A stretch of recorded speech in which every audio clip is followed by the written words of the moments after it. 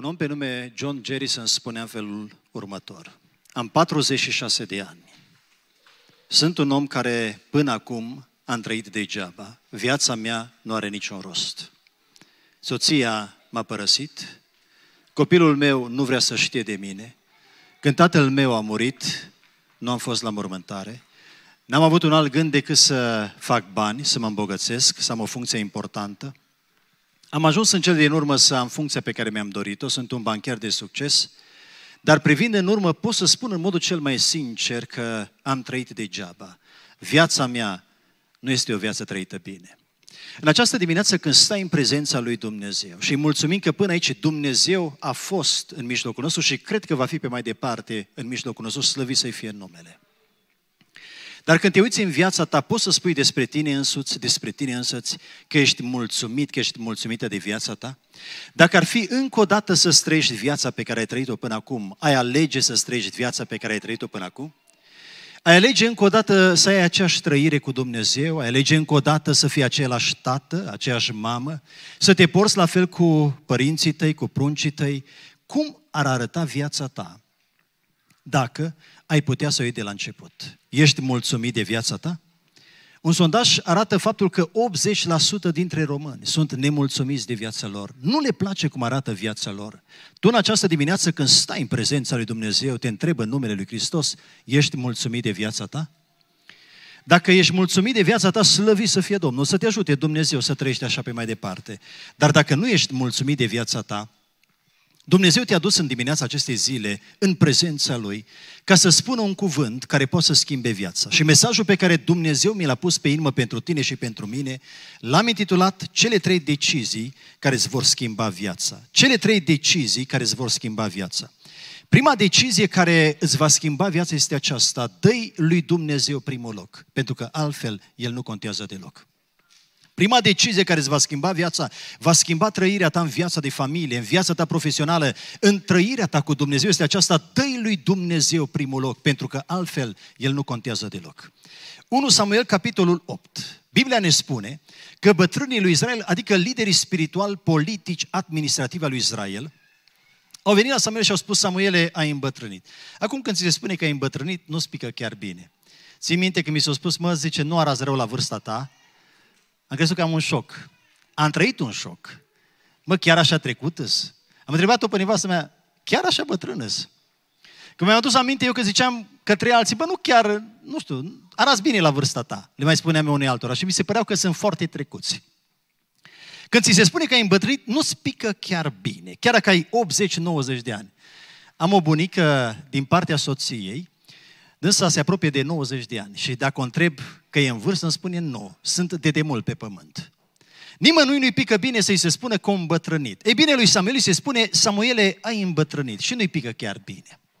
Și apoi mai spun ceva liderii lui Israel. Copiii tăi pe care tu ai pus judecători în locul tău, să știi că nu-ți calcă pe urme. Dacă tu ești un om cu frică de Dumnezeu, un om integru, un om pocăit, feciorii tăi nu sunt cum trebuie, ei sunt departe de tine. Și acum Samuel pune peste noi un judecător, un împărat care să ne judece. Și spune Scriptura că lui Samuel nu-i pică bine când aude acest cuvânt, dă un împărat, să fim ca toți ceilalți se supără foarte tare, se simte dat la o parte și ce mi se pare foarte interesant la Samuel, când se simte marginalizat, când se simte împins de o parte, când se simte nedreptățit, nu se ceartă. Și omul acesta când se simte nedreptățit, aleargă la rugăciune. El se roagă când se simte dat la o parte, când se simte nedreptățit. Și spune, Doamne, uită ce cere evreii, cer un împărat să fie ca toți ceilalți. Și Domnul ia înainte și spune, Samuele, tu crezi că despre tine este vorba? Tu ai impresia că te leapă de pe tine, dar ascultă, Samuele, nu pe tine te leapă de Israel, pe mine mă leapă de ca să nu mai domnesc peste ei. Cu alte cuvinte, în momentul în care tu ai un alt împărat decât pe Dumnezeul cerului și al pământului, Dumnezeu nu doar că se simte pe locul 2, pe locul 3, ci Dumnezeu se simte lepădat. Pentru că atunci când l-a scos pe Israel din robia egipteană, a spus în felul următor, să nu ai niciun împărat, pentru că eu vreau să fiu împăratul tău, țara lui Israel. Dumnezeu și-a rezervat atunci dreptul acesta când a scos pe Israel din robia egipteană să fie împăratul lui Israel. De această dată, potrivit Samuel 1, Samuel capitolul 8, 1 Samuel, ei vor un alt împărat și Dumnezeu spune, dacă nu mai sunt eu împărat în țara lui Israel, sunt lepădat. Întrebarea este, mai este Hristos împărat în viața ta?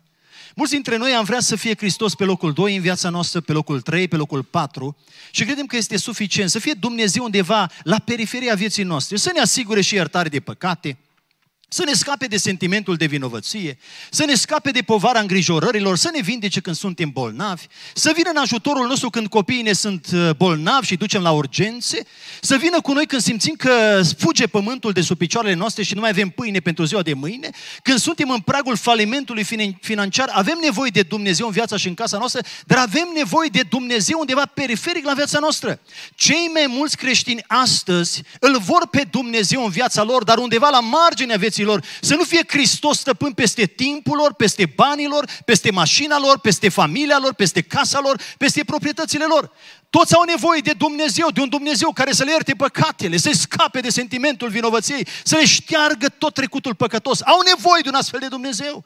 Toți au nevoie de unul care să le dea banii, un fel de tonomat spiritual. Bagi o zi de rugăciune, o zi de post, două, trei capitole din Scriptură și se rezolvă problema.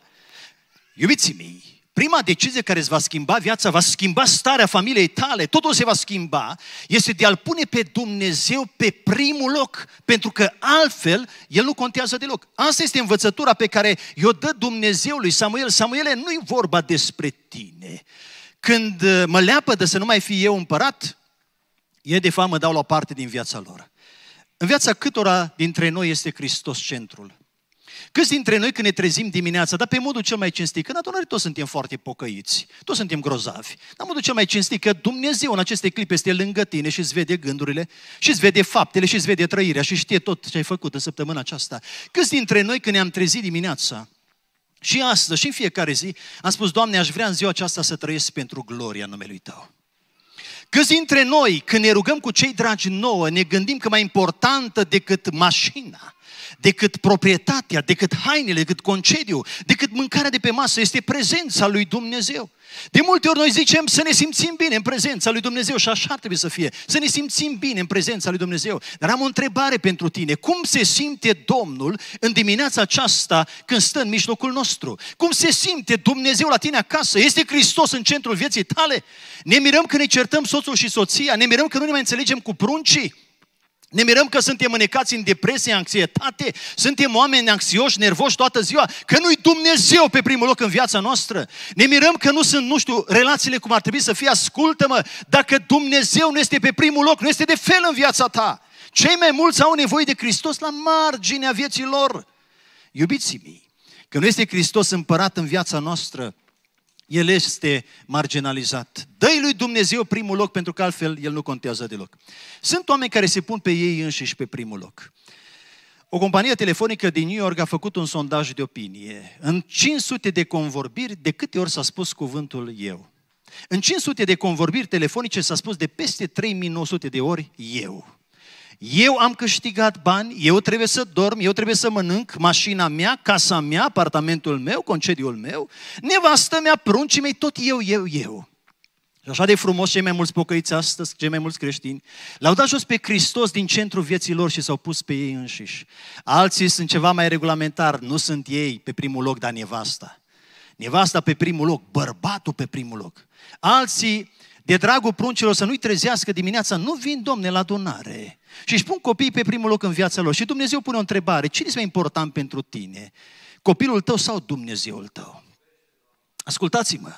Trăim o vreme dramatică când oamenii sunt plictisiți în prezența lui Dumnezeu, n-au putere, sunt trântiți la pământ spiritual, au necazuri în viața de familie, este ea la ei acasă, pentru că nu este Hristos pe primul loc în viața lor.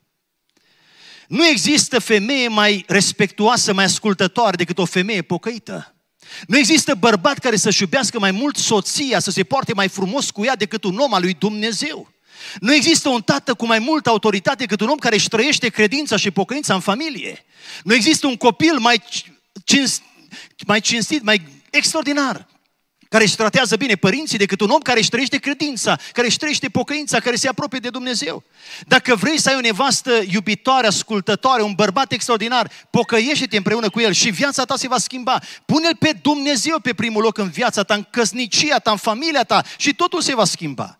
Iubiții mei, trăim o vreme în care mulți își pun copiii mai presus de Dumnezeu. În urmă cu ani și ani de zile trăia un om pe nume Avram și omul acesta a așteptat mulți ani de zile după un copil. Acum, toți cei care așteptăm ani de zile după copii, știm că atunci când ți se naște un copil, este centrul vieții tale.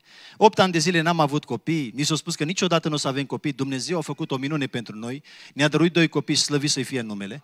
Și marea ispită este când îți vin copiii, mai ales dacă ai aștepta ceva vreme, este să-ți centrezi toată viața pe ei. Să fie efectiv universul tău, să fie feblețea ta, să fie totul pentru tine. Așa a fost și omul acesta. Dar el n-a așteptat 8 ani de zile, n-a așteptat 5 ani de zile sau 20 de ani de zile. A așteptat mulți, mulți ani de zile. Foarte mulți ani de zile.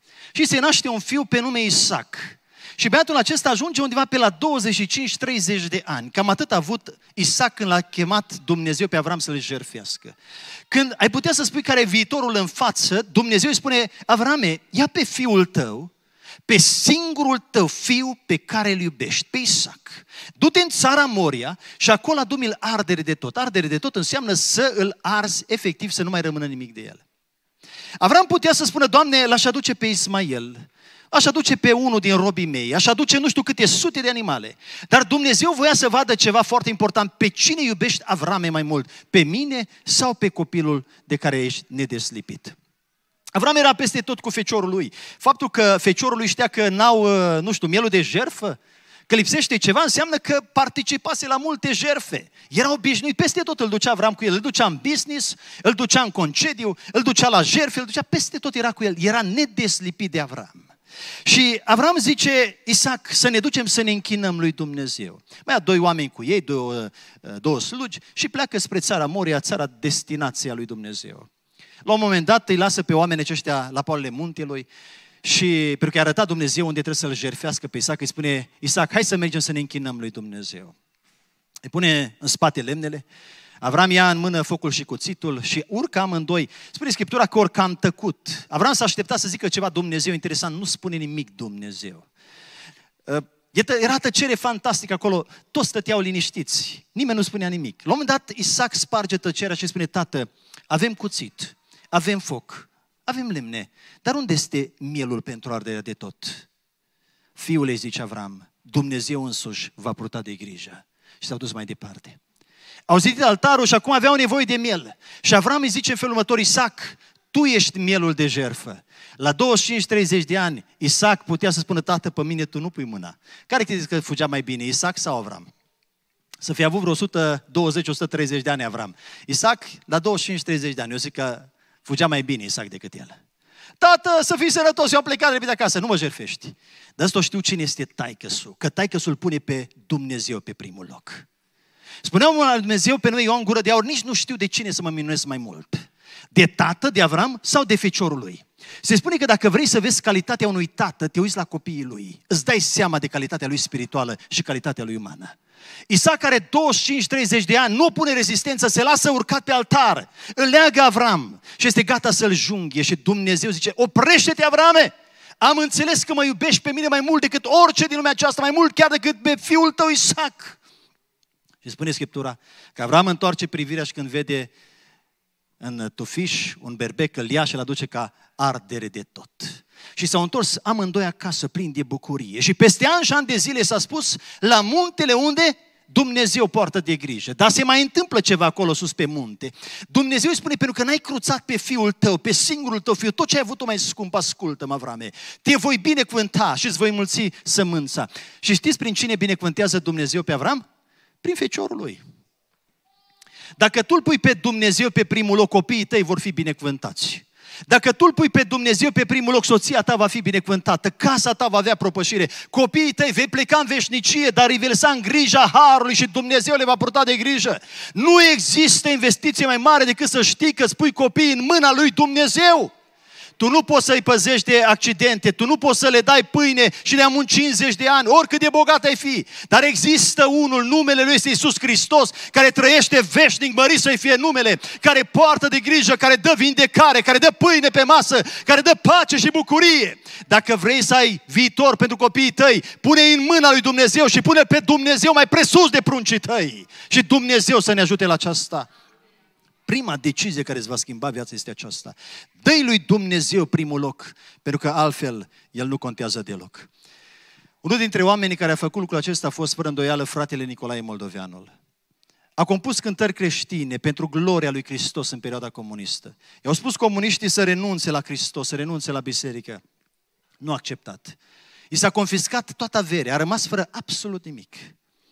L-au băgat în pușcărie, i-au dat 12 ani de execuție, până la urmă a executat doar 5. Dumnezeu a scurtat perioada respectivă. Și apoi au spus, nu ai drepturi cetățenești pentru 10 ani de zile. N-ai drept să te angajezi, n-ai drept să primești niciun ban de la stat, n-ai drept să votezi.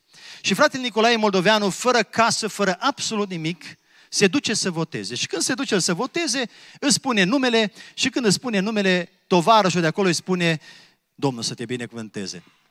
Tovarășul îi spune, Amin, frate Franț. Ziceți amin, Domnul să-l binecuvânteze pe fratele Franț. Amin. Tovarășul de acolo îi spune, tu nu poți să votezi, pentru că ești un om care ai probleme cu Partidul Comunist. Și la un moment dat omul acesta se duce acasă supărat și în timp ce coboară treptele de la secția de votare, primește o cântare din partea lui Dumnezeu. Și cântarea aceea, noi știm, am cântat-o de multe ori, te aleg mereu. Și printre altele spune așa fratele Nicolae Moldoveanu, Iisuse, dintre toți te aleg mereu, în orice zi și în orice clipă, căci tu ești viața sufletului meu și harul care mă ridică. Iisuse, dintre orice te aleg mereu, căci on, în orice zi te știu mai bine căci tu ești dragul sufletului meu. Alt bun nu vreau decât pe tine. Omul acesta a renunțat la totul de dragul lui Hristos și Dumnezeu a purtat de grijă. Vrei să se schimbe viața ta? Vrei să ai pace și bucurie? Vrei să simți pe Dumnezeu viu și lucrător în viața ta? Vrei să ai raiul lui Dumnezeu la tine acasă? Vrei ca totul să se schimbe? Vrei ca să se schimbe starea ta și starea familiei tale? Dă lui Dumnezeu primul loc, pentru că altfel El nu contează deloc. Al doilea lucru care schimbă viața noastră sau duce la schimbarea vieții noastre este acesta. Nu sta blocat în prejudecăți, ca să nu zădărnicești planul lui Dumnezeu. Doi, nu sta blocat în prejudecăți ca să nu zădărnicești planul lui Dumnezeu. Luca, capitolul 7, versetul 30. Fariseii și cărturarii, oamenii care studiau Scripturile, au zădărnicit planul lui Dumnezeu pentru ei, neprimim botezul lui Ioan. Ce presupunea botezul lui Ioan? Botezul lui Ioan spunea în felul următor, ești un om păcătos, recunoaște-ți păcatele și apoi îndreaptă-ți viața. Dar ei au spus despre noi, suntem bine așa cum suntem. Noi avem anumite păreri despre noi. Oamenii aceștia au zădărnicit planul planul lui Dumnezeu pentru ei. Eu te întreb în această dimineață, nu cumva și tu ești între oamenii aceia care zădărnicesc planul lui Dumnezeu pentru ei? Dragul meu, nu mai sta blocat în prejudecăți ca să nu zădărnicești planul lui Dumnezeu pentru tine. Eu aș vrea ca Dumnezeu, nu știu, să facă ceva pentru mine spectaculos. Dacă nu se întâmplă ceva spectaculos, nu-i Dumnezeu prezent în adunare. Dacă nu coboară un înger al lui Dumnezeu din cerul și îl vedem cu ochii noștri, n-a fost Dumnezeu prezent la adunare. Dacă nu se întâmplă o minune, Dumnezeu nu lucrează. Iubiții mei, de multe ori avem tot felul de așteptări de-astea ciudate, tot felul de prejudecăți. Cum să-mi vorbească mie Dumnezeu prin omul acesta? Eu îl cunosc prea bine. Cum să mă cerceteze Dumnezeu prin cântarea aceasta? Eu nu pot să primesc botezul dacă nu vine un înger al Dumnezeu să-mi spună ce trebuie să fac. Eu nu pot să-mi recunosc păcatele și starea greșită dacă nu-mi dă Dumnezeu un vis, o descoperire. Am auzit pe cineva spune, frate, dacă Dumnezeu știe că sunt așa de păcătos, să pună Dumnezeu pe un ecran toate păcatele mele. Eu te întreb în această dimineață, dacă ți-ar pune Dumnezeu acest sus, toate păcatele pe care le-ai făcut săptămâna asta, ai mai putea să în adunare? Cred că toți ne-am ascunit pe sub scaune.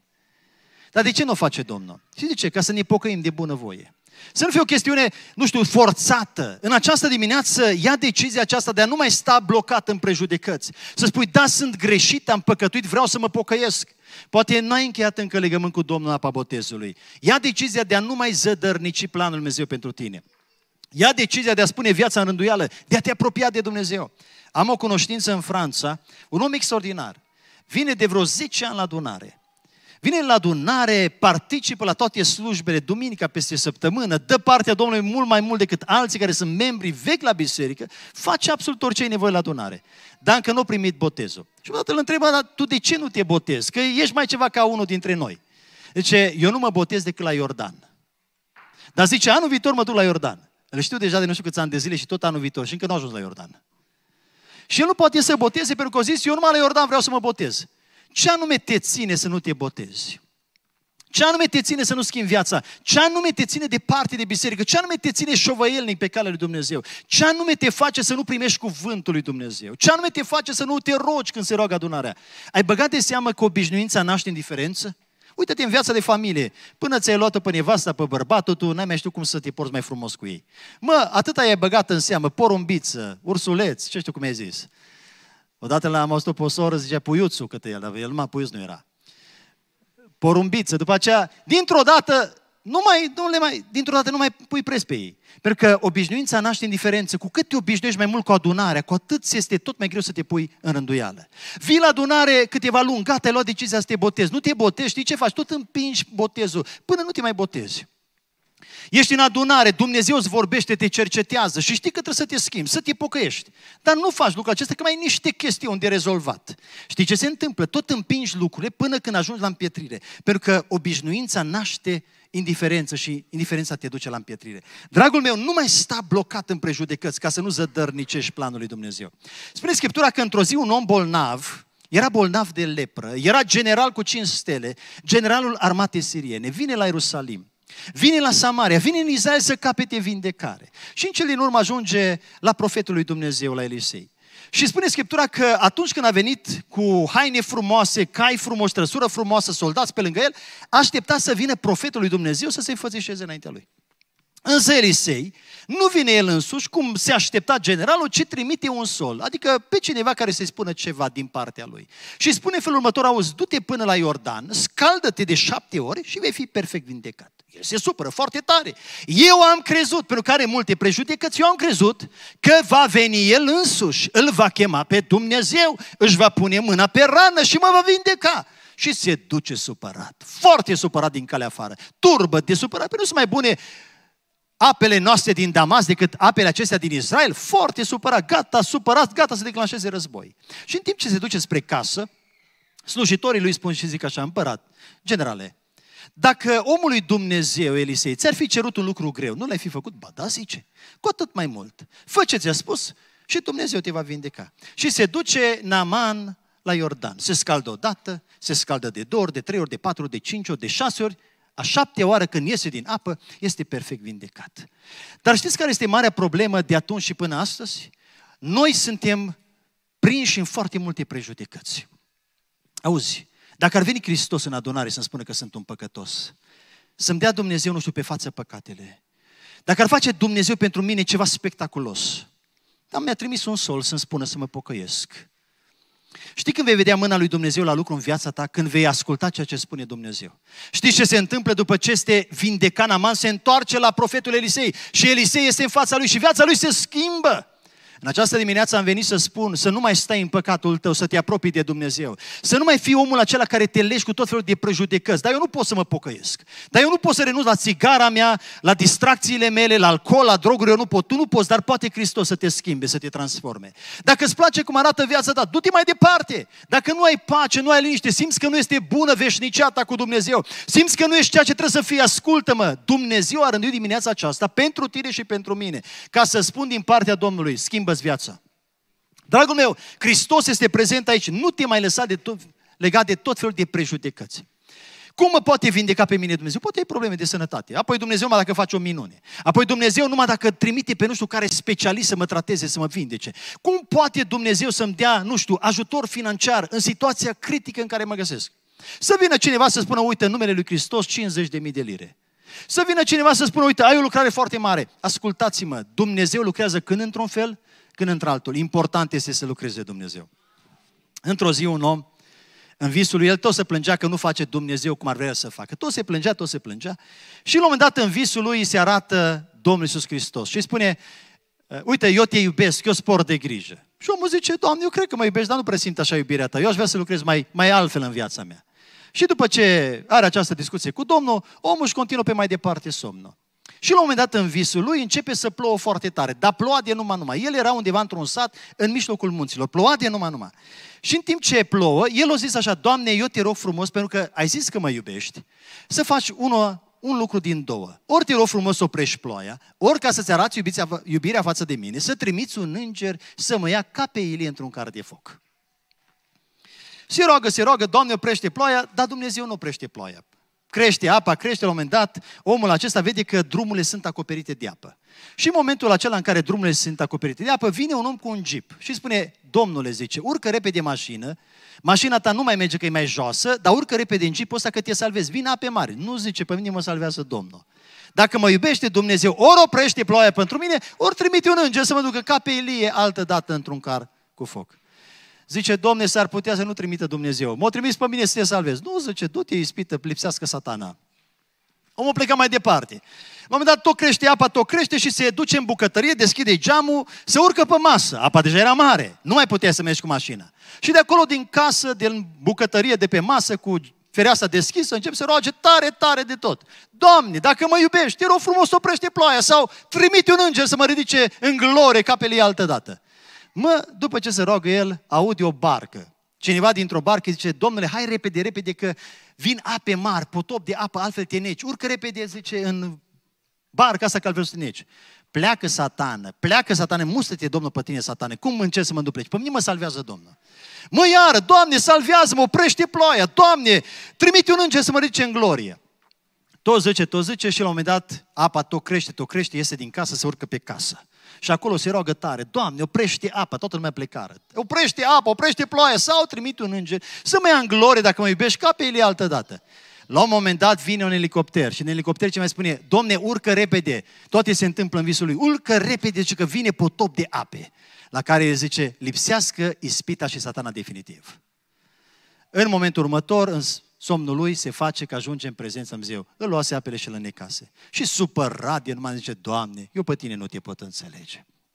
Ce mi-ai spus că mă iubești? Că îmi poți de grijă, că îți pasă de mine, că ai pentru mine viitor și nădejde și, Doamne, nu m-ai ascultat. Ia câtă mâniecară La care Domnul a zis în felul următor în visul lui. Dragul meu, ți-am ascultat rugăciunea. Ți-am trimis o mașină, n-ai vrut-o. Ți-am trimis o barcă, n-ai vrut-o. Ți-am trimis un elicopter, ce mai fi vrut să-ți fac? De câte ori Dumnezeu nu ne trimite predicatori, îi folosește pe acei din adunare, îi folosește pe alții care vin la voi. De câte ori Dumnezeu nu vă cercetează prin conștiința voastră, de câte ori Dumnezeu nu vă vorbește prin circumstanțele din viața voastră. Ne vorbește Dumnezeu prin copiii noștri, ne vorbește Dumnezeu atâtea, în atâtea moduri. Dumnezeu spune, Scriptura vorbește când într-un fel, când în altul, dar omul nu ia seama. Câți dintre noi nu suntem muți când vine vorba de bunătatea lui Dumnezeu, indiferenți la tot harul lui Dumnezeu pentru noi. Frații mei, surorile mele, haideți să nu mai stăm blocați în prejudecăți și Dumnezeu să ne ajute la aceasta. Dacă vrei să se schimbe viața ta, în primul rând, dă lui Dumnezeu primul loc, pentru că altfel El nu contează deloc. Doi, nu mai sta blocat în prejudecăți ca să nu zădărnicești planul lui Dumnezeu. Și trei, nu te rezuma la un set de convingeri, caută să ai experiențe cu Dumnezeu. Dacă vrei ca viața ta să se schimbe, nu te mai rezuma la un set de convingeri, ci caută să ai experiențe cu Dumnezeu. Fapte, capitolul 8. Vine Filip la Samaria și predică Evanghelia. Și samaritenii se pocăiesc, renunță la vrăjitorie, renunță la toate păcatele lor și își predau viața lui Dumnezeu. Oamenii aceștia se botează în apă. Se aude până la Ierusalim că Samaria a primit cuvântul lui Dumnezeu. Și în timp ce Filip predică Evanghelia, chiar un om, un vrăjitor pe nume Simon Magu, crede, zice Scriptura Luca, chiar Simon a crezut. Ce a crezut? Evanghelia Împărăției lui Dumnezeu, că Iisus Hristos este Fiul lui Dumnezeu, că Iisus Hristos a murit pentru păcatele oamenilor, că Iisus Hristos a fost mort, dar a înviat, este viu, Iisus Hristos schimbă vieți. Chiar Simon a crezut. Le-a crezut pe toate acestea. A crezut în Dumnezeu. Ba mai mult spune Scriptura, a făcut și botezul. Dar se aude de marea trezire până la Ierusalim. Și câtă că vine Petru și Ioan la Samaria să se roage pentru samariteni ca Dumnezeu să-i boteze cu Duhul Sfânt. Vine la Samaria și își pun mâinile peste cei ce s-au încreștinat. Când își pune mâinile peste cei încreștinați, Dumnezeu le dăruiește Duhul Sfânt, îi botează cu Duhul Sfânt. Simon Magu vede că darul Duhului Sfânt este dat prin punerea mâinilor apostoli și le zice în felul următor, dați-mi și mie puterea aceasta. Pentru ca peste oricine îmi voi pune o mâinile să primească Duhul Sfânt. Petru îi spune, banii tăi să piară împreună cu tine, pentru că ai crezut că darul lui Dumnezeu s-ar putea căpăta cu bani. Tu n-ai nici parte, nici sorți în toată treaba aceasta, căci inima ta nu este curată înainte Dumnezeu. Și spune Petru ceva fantastic. Omule, pocăiește-te și roagă-te lui Dumnezeu să ți se ierte păcatul acesta. Știți ce spune Simon Magu, care are convingeri frumoase? Chiar Simon a crezut, chiar Simon s-a botezat. Rugați-vă voi Domnului pentru mine. Pentru că omul acesta s-a rezumat doar la un set de convingere, n-a căutat să aibă experiențe cu Dumnezeu. Te întreb în această dimineață, când a fost ultima dată când ai avut o experiență puternică cu Dumnezeu? Când a fost ultima dată când ai simțit prezența într-un mod deosebit în adunare? Când a fost ultima dată când ți-a vorbit Hristos într-un mod deosebit? Dumnezeul nostru este viu. Păi dacă este viu, înseamnă că vorbește. Înseamnă că cercetează, înseamnă că schimbă. Când a fost ultima dată când ai stat în prezența lui Dumnezeu la adunare și ai spus, acum îmi vorbește mie Domnul? Când a fost ultima dată când te-ai plecat pe genunchi acasă și ai simțit că se deschide cerul și coboară Dumnezeu la tine în familie? Când a fost ultima dată când ai avut o experiență puternică cu Dumnezeu care ți-a schimbat viața? Când a fost ultima dată când ai simțit fiorul Duhului Sfânt în prezența lui Dumnezeu? Când a fost ultima experiență pe care ai avut-o cu Dumnezeu? Știți de ce trăim o vreme de plictis spiritual? Pentru că oamenii nu au experiență cu Dumnezeu. Vin de multe ori seara de la evangelizări și ca să nu dorm pe drum, dau drumul tare la muzică și încerc să mă dau la întreceri casetofonul. Când mă dau la întreceri casetofonul, care cântă mai tare, eu sau casetofonul, știți ce se întâmplă? Îmi pleacă somnul. Dacă tu vii la adunare și vei cânta din toată inima, ascultă-mă, nu să te plictisești la adunare. Dacă tu vii la adunare și în momentele acestea spui, Doamne, Tu îmi cunosc starea, vorbește Dumnezeu îți va vorbi. Dacă tu vii la adunare și spui, Doamne, eu am necazuri, am probleme, am nevoie de tine la mine acasă, Dumnezeu îți va asculta rugăciunea. Dacă vei fi aici trup și suflet, Dumnezeu se va atinge de tine. Viața ta va fi schimbată. Întrebarea este, se simte o schimbare în viața ta de când vii în prezența lui Dumnezeu? Oare nu cumva pentru unii pocăință și biserică înseamnă doar veni la adunare duminica sau peste săptămână? Doar anumite chestiuni exterioare? Oare viața ta s-a schimbat? Dragul meu, dacă nu-ți place cum arată viața ta și vrei ca viața ta să se schimbe, ascultă-mă, nu te mai rezuma doar la un set de convingeri. Eu cred în Dumnezeu. 90% dintre români cred în Dumnezeu. Poate și tu ești printre ei. Sunt sigur că suntem printre ei. Întrebarea este, tu crezi în prezența Lui, tu crezi în puterea Lui? Te-a marcat prezența Lui Dumnezeu, te-a schimbat Dumnezeu, te-a transformat Dumnezeu? Poți să spui, nu sunt unde aș vrea să fiu, dar sunt departe de unde am fost? Viața ta este schimbată? Oare nu cumva suntem aceiași oameni? Într-o zi un predicator era tare supărat și se duce undeva la un ABC. La ABC-ul respectiv, în timp ce el era foarte supărat, vede un papagal vorbitor că tot, tot spunea, avem mici, avem și bere. L-a învățat omul respectiv ce să spună. avem mici, avem și bere. Am muzic lipsească ispita. Ziceți amin. Ziceți amin. Amin. Unde am rămas? Ziceam de predicatorul ăsta că a fost dezamăgit, domnule, că, nu știu, frații din adunare erau foarte liniștiți. Nu ziceau nici amin, nici aleluia, nu vedea că oamenii s atenți la ce predica el și necăjit, supărat, se duce să facă ceva cumpărături. Și acolo la un ABC vede un papagal vorbitor și papagalul ăsta zice, avem mici, avem și bere, avem mici, avem și bere. Proprietarul la un moment dat s-a supărat foarte tare pe papagal și a dat cu pălăria după el. Zice, mă, dar de ce ai dat cu pălăria după el? Zice, deja m-am săturat. Eu când l-am cumpărat, zice, l-am învățat să spună, avem mici, avem și bere. Dar acum zice, prea de tot. Tot timpul tău zice, avem mici, avem și bere. Zice prea de tot. Mă, să mai tac o leacă. Să zic așa din când în când, dar să nu mai îndă pace. Și zice, vreau să scap de el, că deja mai enervează. Domne, zice, cât ai dat pe el? Și spune cât o dat pe el. Dă-mi el mie, zice, că eu am o biserică de oameni foarte plictisiți și obosiți. Ăștia nici amin, nici ale zic, zice, l-aș învăța să nu zică avem mici, avem și bere, ci să zică amin și aleluia. Cât ai dat pe el? Și zice, cât am dat pe el? Uite, îți dau atâția bani pe el. Și l-a luat predicatorul și l-a învățat să spună. Vezi, când zic așa, să zici aleluia, aleluia. Când zic așa, zici amin, amin. L-a învățat bine când se spune aleluia și amin și l-a dus la adunare. Toată biserica, foarte protocolară, regulamentară, nimeni nu zicea nimic. Toți stăteau așa înghețați, liniștiți. Și în timp ce predicatorul predica, începea papagalul să spună, aleluia, Aleluia, amin, aleluia. Mă, parcă la un moment dat au început și ceilalți din adunare să zică după el, amin și aleluia, amin și aleluia. Dintr-o dată zice predicatorul, bă, parcă sunt în altă biserică, parcă nu sunt frații mei, foarte liniștiți. Toți cu amin și cu aleluia, să după papagal. Dar la un moment dat, în timp ce predicatorul predică cu înflăcărare, ce să vezi? Papagalul întoarce capul, stă față în față, cum stă camera cu mine. Acum să uită și în stânga, să uită și în dreapta și apoi începe să zică, avem mici, avem și bere. Avem mici, avem și bere. Predicatorul știe ce să zică, îi face semn. El, avem mici, avem și bere. Avem mici, avem și bere. Nu zice, amin și aleluia. La care zice papagalul vorbitor, pastore, pastore, oamenii sunt aceiași. De fapt, care era marea problemă? Erau aceiași care mergeau și beau, erau aceiași care mergeau în fiecare zi, trăiau aceeași viață, do veneau și la adunare. Te întreb în această dimineață când stai în prezența lui Dumnezeu, viața ta s-a schimbat? Poți să spui în dimineața aceasta că ești un om nou, un om care ți-a schimbat viața? Tu simți prezența lui Dumnezeu? Tu în această dimineață, dacă te uiți la viața ta și vezi că nu ești așa cum trebuie, poate ești egoist, poate suntem unul dintre noi mincinoși, poate bârfitori, răutăcioși, poate nu putem să iertăm pe cineva pentru ceea ce ne-a făcut, poate avem în viața noastră păcate ascunse. Suntem noi disponibili în dimineața aceasta să spunem, Doamne, ai milă de noi și iartă-ne păcatele? Suntem noi disponibili în această dimineață să spunem, Doamne, vrem ca viața noastră să se schimbe? Nu vrem, Doamne, doar să venim duminică la donare, ci vrem ca viața noastră să se schimbe. Dumnezeu să ne ajute la aceasta. Iubiții mei, să nu ne mai rezumăm doar la un set de convingeri, să căutăm să avem experiențe cu Dumnezeu. Apostolul Petru a fost un astfel de om. Spune Scriptura că era pe mare, mare era înfurtunată și la un moment dat, în timp ce mare era înfurtunată și erau gata, gata să se scufunde, vine Hristos la ei pe ape.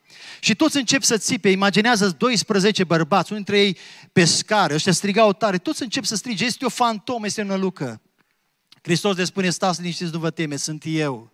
Când Petru evreu aude acest eu sunt, zice, Doamne, dacă ești Tu, poruncește-mi să vin la Tine pe ape. Și Domnul spune, Petre, hai la mine pe ape. Și Petru coboară din barcă și pune piciorul pe ape. Și apele sunt tari sub picioarele lui. Petru face un pas mai departe și merge mai departe și Petru pășește pe ape. Pentru că atâta vreme cât te uiți la Hristos, merge înainte. Iubiții mei, poate în viața noastră este furtună. Poate păcatele noastre au creat multă furtună în viața noastră. Poate nu te înțelegi cu soțul tău, cu soția ta. Poate nu te înțelegi cu copiii tăi, cu părinții tăi. Poate ai vicii și patim de care nu mai scapi. Această dimineață, Hristos este prezent în adunare, aleluia. Pășește pe apele înfurtunate ale păcatului din viața ta și spune, eu sunt. Și am venit la adunare, la peniel, să-ți arăt gloria și slava mea. Ești gata să-L vezi pe Dumnezeu?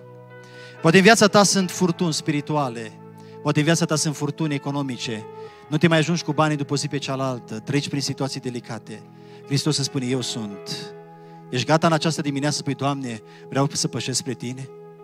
Ați băgat de seamă că soluția la furtună nu este nimic altceva decât Isus Hristos? La furtuna din viața ta, singura soluție este Isus Hristos. Sunt unii care aleargă în stânga și în dreapta să-și rezolve problemele și eșuează. Unul singur rezolvă probleme și acela este Isus Hristos. Cel ce a fost mor și a înviat și este viu în vecii vecilor, trăiască-i numele. El este singurul care poate da biruință. El este singurul care iartă, El este singurul care schimbă. Ai vrea în această zi să pășesc spre El? Ai vrea în această zi să spui, Doamne, vin la Tine pe ape, pășesc peste păcatele mele, peste îngrijorările mele, peste frământările mele, vin la Tine, Doamne, schimbă tu viața? Ai vrea în această zi să vezi mâna lui Dumnezeu la lucru în viața ta? Una dintre cele mai puternice experiențe pe care am auzit-o ca și slujitor a fost aceea care s-a întâmplat la noi în județul Bihor. Un om era un bețiv extraordinar, dar bea până nu mai putea, bea de toate. Bea pălincă, bea vin, bea spirit de luat cu apă, bea și bere, pentru că spunea că are probleme cu rinichii. Era un bețivan de primă clasă. Vine într-o dimineață la nevasta, duminică dimineața și spune, dragă, pușcă rinichii mine. Eu zic să puște liniștiți. El s-a văitat și a spus să puște rinichii mine și o să mai pe conștiință toată viața. Dăm zice niște bani să mă duc să beau bere, că altfel mor. Băuse pălincă în dimineața aceea. Băuse spirit de luat cu apă. Băuse vin. Și am vrut să mai bea și bere. Eu dat nevasta niște bani. Mor de beat criță cum era. S-a dus la bar să mai comande ceva bere să poată să bea. Dar așa beat cum era, ce să vedeți? O confunda barul cu biserica. O deschis ușa bisericii și când l-a văzut pe predicatul la Amvon, a avut impresia că e barmanul la Tejghea. Hotărât. Două dețuri, două beri. Toată biserica s-a uitat la el și a zis, mă, cât de beat ai fi, mă, să vii la păstor să-i cer două dețuri, două beri prea de tot. Un vecin pe nume Vasile zice, Ioani, greșire adresa, mă. Nu ești la bar, ești la biserică. L-a apucat de mână și l-a tras lângă el. Stai jos lângă mine, zice, că am mai făcut-o prea de tot. Era beat, rup de beat, mirosea alcool în ultimul hal. Dar așa beat cum a fost, a început să-i vorbească Dumnezeu. A început să-l cerceteze Duhul lui Dumnezeu, aleluia. Și în timp ce se predicau a zis, eu nu sunt un tată bun. Când eu vin acasă, copiii mei nu mi-alargă în brațe și ascund că fac scandal. Eu nu sunt un tată bun, banii mei pe care îi câștig și banii soției mele, în loc să-i pun pentru casa mea, să-mi îmbrac copiii, să le cumpăr mâncare, eu îi dau toți pe băutură. Eu nu sunt un tată bun. În loc să fie la noi acasă pace și înțelegere, la noi acasă în fiecare zi numai ceartă și tensiune. Eu nu sunt niciun tată bun, niciun soț bun. Și când a venit momentul rugăciunii, a spus, Doamne, știi ceva? Eu ți-am simțit prezența. Eu aș vrea să mă schimb. Dar nu pot să mă las de băutură, îmi place alcoolul, te rog ajută-mă. Și Dumnezeu a început să-l cerceteze. La finalul slujbei a spus, Vasile, îți promit că vin și duminică la adunare. Și zice Vasile Ioane, tu ești vecinul meu și prietenul meu vechi. Te rog frumos, hai, dar te rog frumos să nu mai vii beat. Pe cuvânt de onoare zice că vin fără să beau duminica viitoare. Duminica următoare, Ioane, la ora fixă vine la adunare, nu băut un gram de băutură. Și a început să asculte cuvântul lui Dumnezeu cu tot mai multă atenție. Și Dumnezeu îl cerceta. Și a început și el să cânte și Duhul lui Dumnezeu îi mișca inima. Și a început să se roage și a spus din toată inima, Doamne, eu nu sunt ceea ce a trebuit să fiu. Te rog frumos, schimbă inima. Te rog, schimbă viața. Uite, alcoolul face din mine neom. Alcoolul mă trântește în toate șansurile. Copiii mei, zice, tremură când vin eu mor de beat nebun acasă. Mă aud vecinii cum ne certăm cu soția și stric și în jur copiii. Doamne, ai milă de mine. Și Dumnezeu îl cerceta. Duminică după duminică Ioane vin la adunare și Dumnezeu îl cerceta și Dumnezeu schimbă viața lui. Într-un soare frumos de august, Ioane cheie legământ cu Doamna pe botezului. Vine de la adunare cu soția lui și copiii lui. Acum veneau toți împreună frumos. Și trec pe lângă un bar, unde mergea el cu alte ocazii. Sub o umbrelă stăteau trei din foștii prieteni de pahar și beau. Beau o bere rece. Unul dintre ei zice, Ioane, tu te-ai pocăit? Și ce da, m-am pocăit. Altul zice, Ioane, te mai dori, Nichi? Am mai dor câte o lecuță. Celălalt ridică halba de bere și uite, rece cristalină, alungă toate petele de la rinichi. La care zice Ioane, eu numai apă și suc, eu numai apă și suc. Unul dintre ei mai citise ceva prin Biblie, zice, Ioane, nu scrie în Evanghelie că Iisus a fost la o nuntă și a transformat apa în vin? Să alungă petele de la rinichi. La care spune Ioane în felul următor, e adevărat, a fost o mare minune. Nu știu cum să o explic, eu nu sunt eu predicator. Dar, prieteni dragi, soția mea e aici de față, copiii mei sunt aici cu mine. Și vreau să vă spun ceva. În viața și în casa mea, Iisus a făcut o minune și mai mare. Vinul, bere și pălinca le-a transformat în haine și mâncare pentru copiii mei.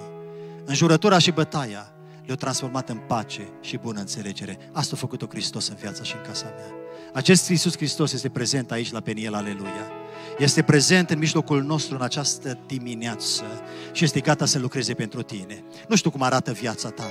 Dacă îți place cum arată, du-te mai departe așa. Dar dacă nu, pășește pe ape. Hristos este aici prezent în adunare, aleluia.